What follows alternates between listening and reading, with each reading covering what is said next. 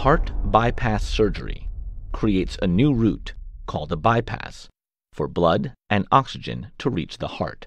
Heart bypass surgery begins with an incision in the chest, and the breastbone is cut, exposing the heart. Next, a portion of the saphenous vein, which is very large, is harvested from the inside of the leg. Pieces of this large vein are used to bypass the blocked coronary arteries, which are arteries that supply blood to the heart. The venous graft is sewn to the aorta, the main artery of the body, and to the affected coronary artery to bypass the blocked site.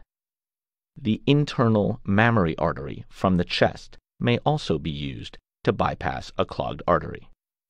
Several arteries may be bypassed depending on the condition of the heart. After the graft is created, the breastbone and chest are closed.